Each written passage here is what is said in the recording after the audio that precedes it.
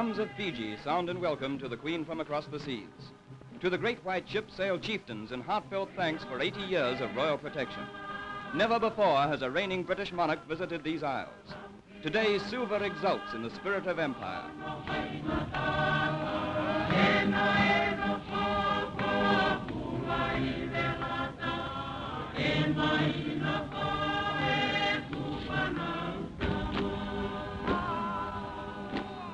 And now, the great moment. Escorted by Sir Ronald Garvey, the governor, and attended by Lady Pamela Mountbatten and the Duke's equerry, the Queen and her husband enter for the first time into the personal lives of their Pacific Island subjects.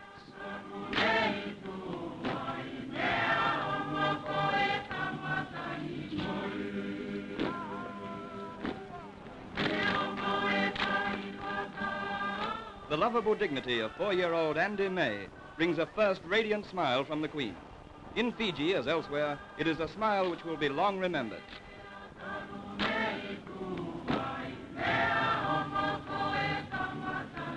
So to the more formal ceremonies, with first a greeting for Captain Peter Brandt of New Zealand. Under his command as Captain of the Guard are men of a type which is serving the Commonwealth splendidly in the Malayan campaign.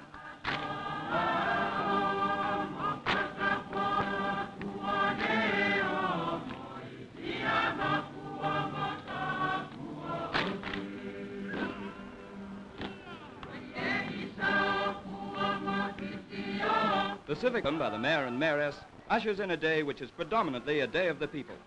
A great tapa carpet has been laid in the Queen's honor in Albert Park, where Kingsford Smith landed in 1928. Here she will witness traditional ceremonies steeped in all the richness of Fijian history. Escorting her now is Sir Lala Sukuna, Secretary for Fijian Affairs.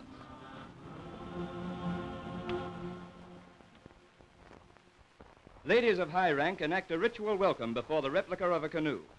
It is an invocation in the name of peace and goodwill, like the whale tooth ceremony now performed by high-ranking chiefs.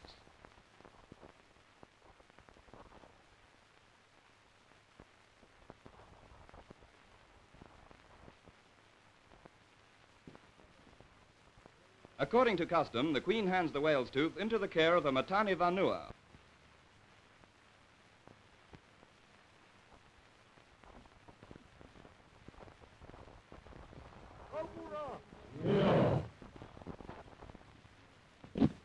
And now, the most impressive of the many ritual acts which bring pageantry to this day. It is the start of the Yangona or kava ceremony. From the powdered roots of the Yangona tree, an infusion is to be made. When ready, the drink will be offered to Her Majesty. The hereditary chiefs of Bau are responsible for the mixing.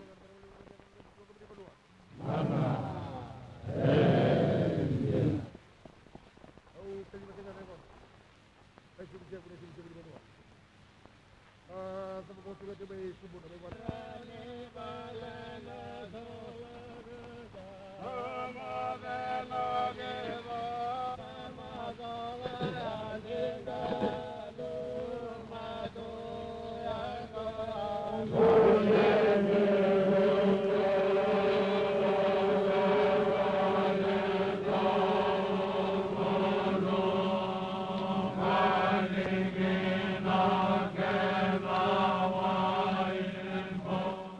knows the significance of the moment as the cupbearer solemnly approaches.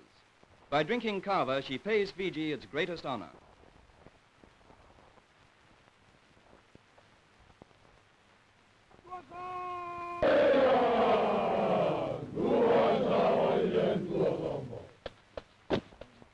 Formalities are relaxed as the Queen receives gifts. Among them a beautiful casket from the Fijian Girl Guides. As for the tribesmen, they entertain Her Majesty with spear dance and song.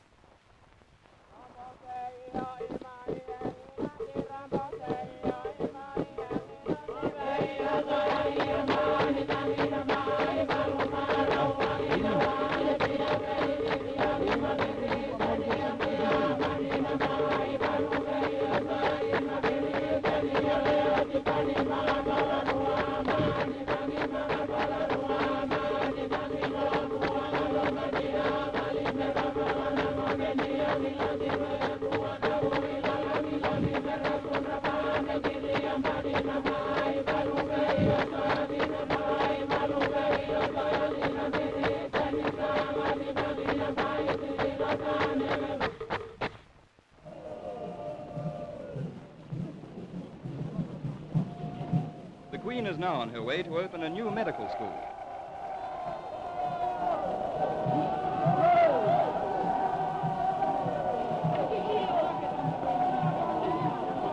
The Central Medical School at Tamavua, beneath its roof will be trained doctors who will serve in remote islands and under many flags.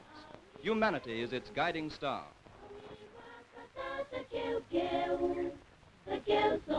Students of every race and nation in the Pacific attend this school. This will be a never forgotten moment.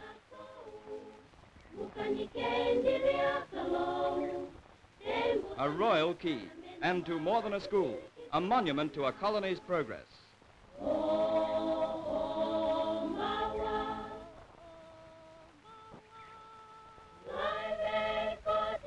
And now, a school of another sort.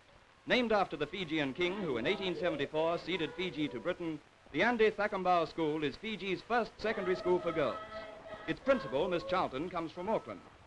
What charms the Queen is its blending of ancient culture with modern ways. This action song, for instance.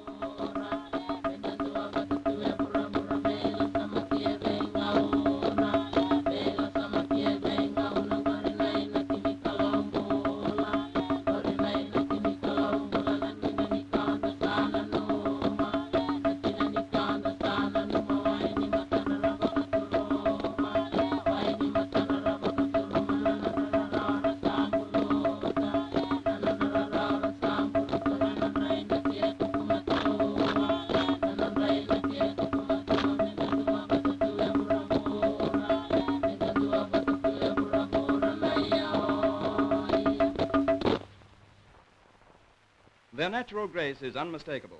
They cup their hands in the Fijian salute.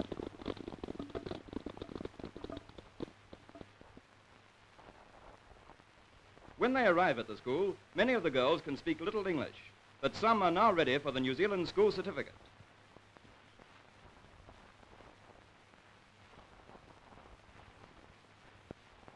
Fijian boys from the Queen Victoria College now take the field and provide Her Majesty and the Duke with a delightful study in contrasts as they warm to a traditional club dance.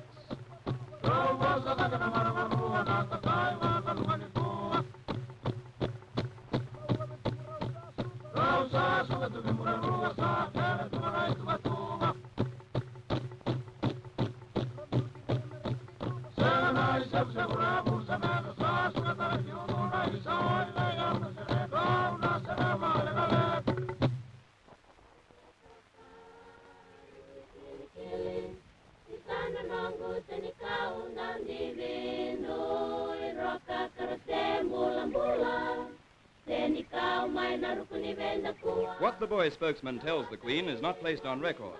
That they have impressed and pleased the royal couple, that is enough. Soon, night will bring enchantment to the royal tour. A bodyguard of 240 torchbearers escorts the Queen and the Duke to a state ball, where a thousand guests will dance through the starlit hours.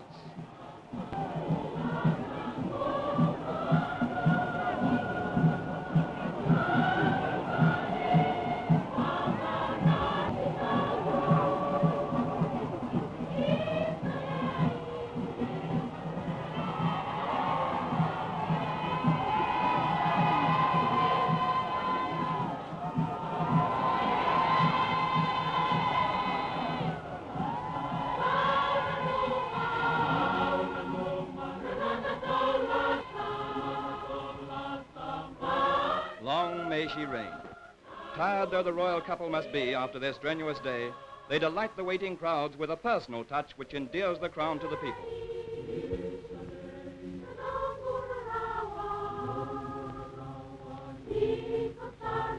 Side by side, man and wife, in all their happiness.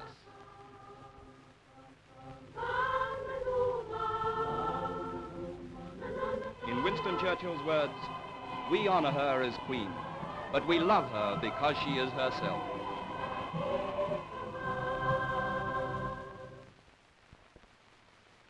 In the chamber of the Legislative Council next morning, the Queen hears the colony's address of welcome. It is read by Sir Lala Sukuna. With affection and with our humble loyalty and duty to the throne and person of your majesty, we the people of Fiji today welcome your majesty and his royal highness the Duke of Edinburgh to this colony. Apart from the great pleasure which your Majesty's visit gives to us all today, it will still further strengthen the bonds of affection and loyalty which bind us to the throne and person of your Majesty. In accordance with etiquette, Sir Lalorad to the Queen. It is a duty performed with distinction by a man who ranks high among statesmen of all races in the Pacific.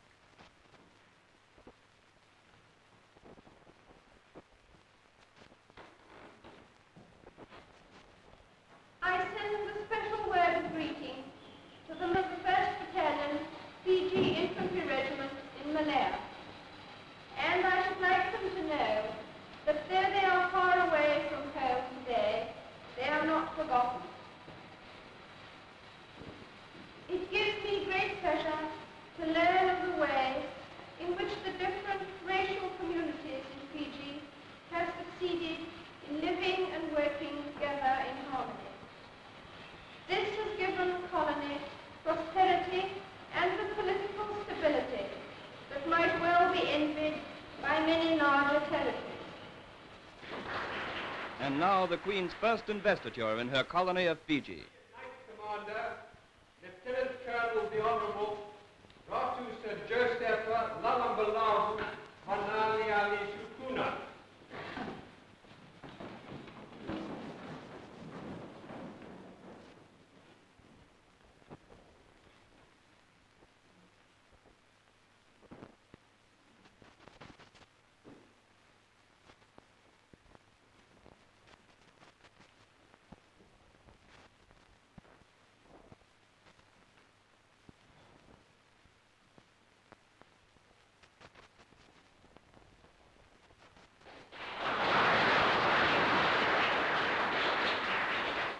A 75-mile journey by flying boat has enabled the Queen to visit Lautoka, where another heartwarming presentation takes place.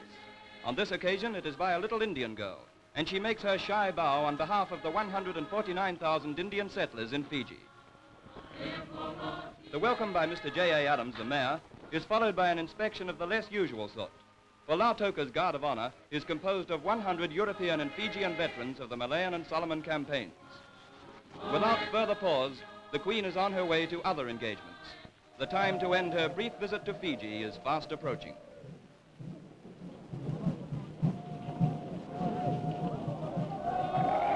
At the flying boat base in Laucala Bay, the Queen boards Aotearoa II for Tonga. With her goes deep understanding of a brave island race. Behind her, she leaves memories which are inspiring.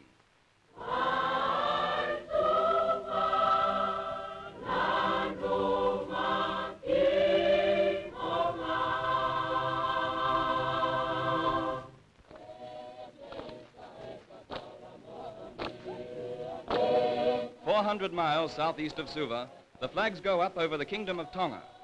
Many of the decorations in Nuku'alofa, the capital, have been built to the personal design of a woman well loved in Britain. It is to meet the people of Queen Salote that Her Majesty has come from Fiji. The meeting of the Queens is the meeting of friends. Queen Salote's bearing at the coronation will never be forgotten. Crown Prince Tungi is presented, and watched by carefree and rejoicing crowds, the Queen of England is invited to inspect the Tongan Royal Guard.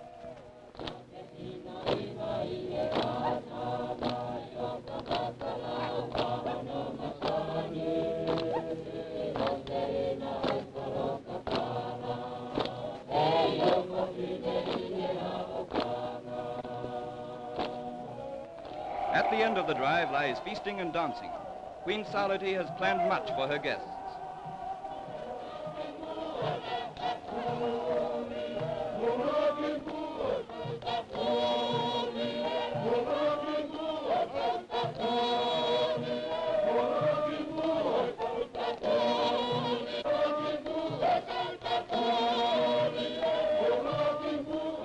The tapa carpet is prelude to an afternoon's entertainment so varied that only a kaleidoscopic impression can remain in the memory. But few will forget the friendly walk across the malae to the feast house, where at low tables, each 30 feet long, Queen Salote and her guests will sit Tongan style, cross-legged on cushions.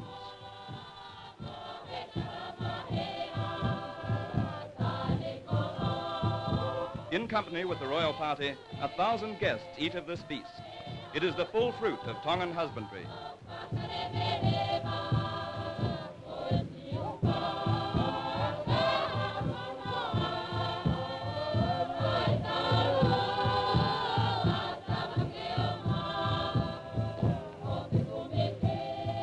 Kaleidoscopic impressions, that is all they can be. And of them, the spear dance is outstanding.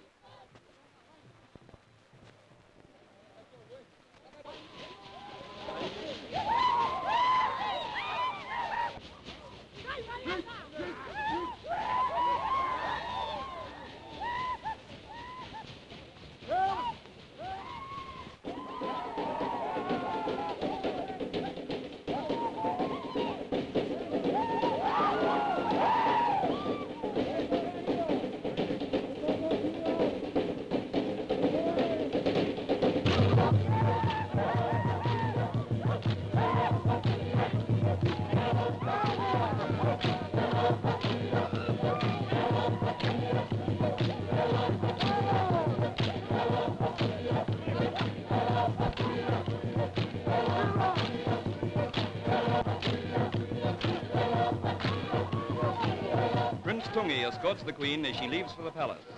Tomorrow is Sunday, and she will be awakened early by the soft music of Tongan nose flutes.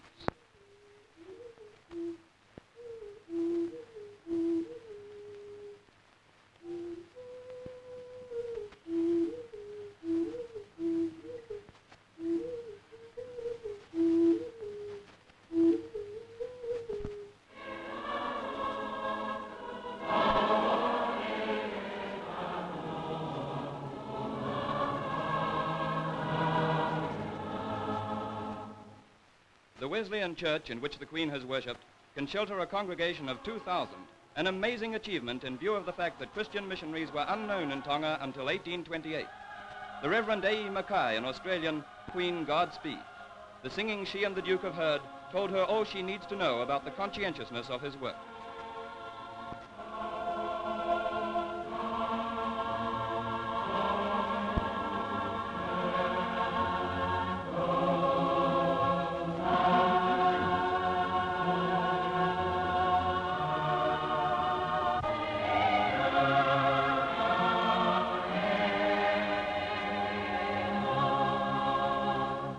Well the Tongas named the Friendly Isles when first explored by Captain Cook.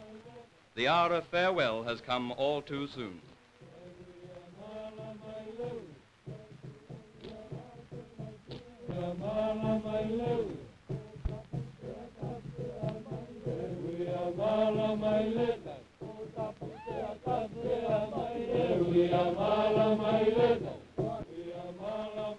Tungi, Crown Prince Premier. The thoughts of all Tonga go with the Queen and the Duke on their voyage to New Zealand.